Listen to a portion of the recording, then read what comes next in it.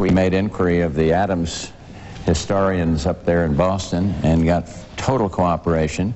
Uh, it just seemed appropriate because of father and son, Ad, John Adams, John Quincy Adams, George Bush, George W. Bush. And here it is, and we are so pleased, Mark.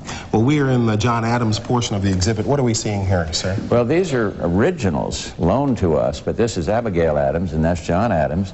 Uh, and it's, they were both done by the famous painter, uh, Gilbert Stuart. Uh, there's a George Wa Washington that hangs, I think, still in the Oval Office. It was there when I was there. I believe it, the president still kept it there. And of course, this Gilbert Stuart is the most famous portrait painter, and we're very privileged to have him here. And there's another portrait here that has John Quincy Adams, which brings in the fathers and the sons. That's Let's right. take a walk here. There, uh, we have all kinds of artifacts here. These are letters uh, written between John and Abigail. This is John Adams' first night in the White House. I know you and Mrs. Bush are big fans of the act of writing a letter. What can a letter do that a phone call can't?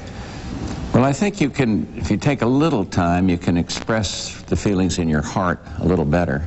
Uh, I know I can. I, I, for, I was the guy they always said English is his, his second language, you know. But when you sit down to write, uh, you feel more emotion. And I think that's true of the president. It's true of me, and I expect it was true of the Adams. And John Adams said, uh, always write it down. Always keep a record of what you're doing. This is, as we get to your portion of the exhibit, this is a famous painting, Peacemaker. Why do you love this painting? Well, I love it because it, it hung in my office, upstairs, second floor office at the White House. It shows Lincoln with his commanders, uh, a rainbow of hope in the background towards the end of the war between the states, the Civil War.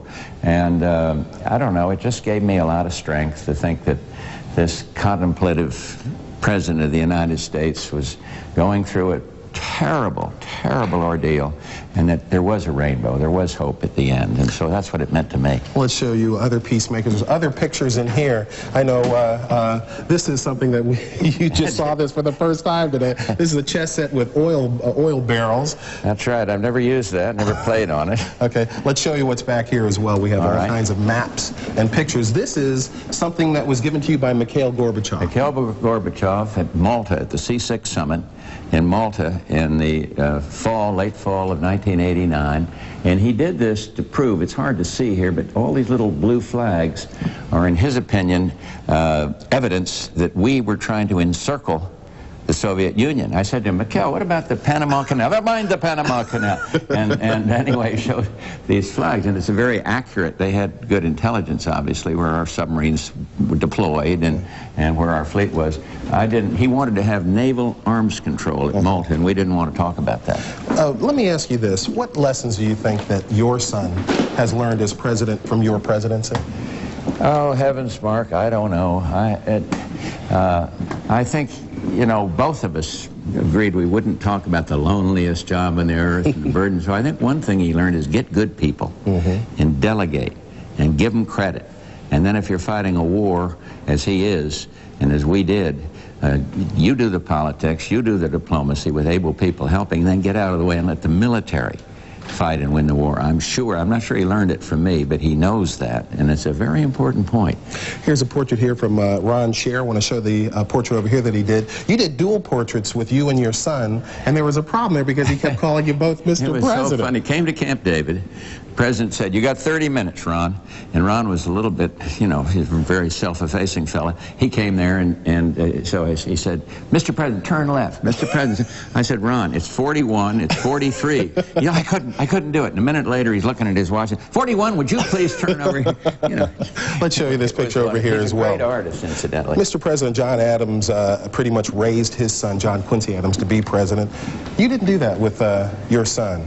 Here's a picture There's here. another Ron Sherr. This one, this was a portrait of the, of the current president, and you mentioned the, the joint one. That's the first time in history that two presidents will be in the same portrait, that posed for the same portrait, because the Adams did not have that. The D word. We talked about this early. Dynasty. You do not like this I don't word. like dynasty. I don't like legacy. I don't like certainly entitlement. But when your father is a senator, you're a president, your son is a president, and your other son is a governor, How, do, how should we look at this family from your perspective? Coincidence, sheer coincidence. No, we don't. We don't plot now who's going to be next, and and certainly we don't feel that there's a, an obligation for all my kids to do something. I have a feeling there's an obligation for them to put something back in, to be a point of light, to help volunteer, but not to run for office. I mean, and George never consulted me about whether he ought to run for president, and. Um, I, nor governor, nor did Jeb in Florida. And this is the last picture that we have here. This is National Cathedral, the day that Oh. your son spoke to the nation. What do you remember of that moment? I remember very great pride and I remember great emotion as he stood up and professed the importance of faith and uh, the deter- determination. Mr. President, thank you so much for letting us in your house, so to speak. Well, we're There's so much here to came. see. There and, is. Uh, it's been a pleasure. Well, it's a wonderful exhibit and we're very proud to have it here. Thank you, sir. Thanks for coming, Mark. You're quite welcome. Jane? All right, Mark, thank you. In Hollywood, the countdown to the Oscars has officially begun with the annual nominees lunch. person to thank for that. I also want to show you something over here. You saw a movie done by Steven Spielberg. The movie was called Amistad. You remember? Uh, uh, and it was about a slave ship, and they came over to America, and they were defended in court by John Quincy Adams. These are some papers from that era, a map, and some pictures. And last but not least, I want to show you this picture here. This is the first photograph of a president. This was taken after he was president, but it's the first photograph ever. And there's John Quincy Adams looking like um, he's not too happy.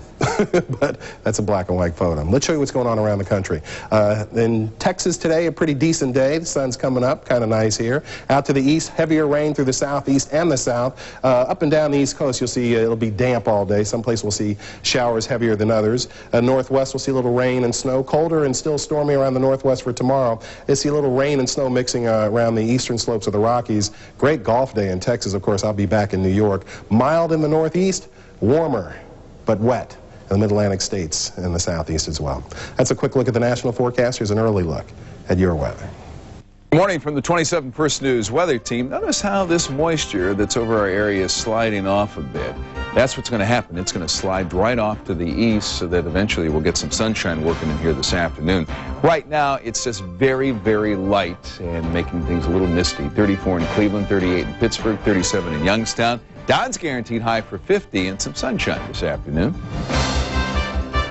27 First News, caring for our community with Anzellotti, Sperling, Pazol, and Small. And now here's Janie Jane with the amazing race results. injury cases personally. Youngstown Microfilm Camera and Imaging is your best source for photographic and video equipment.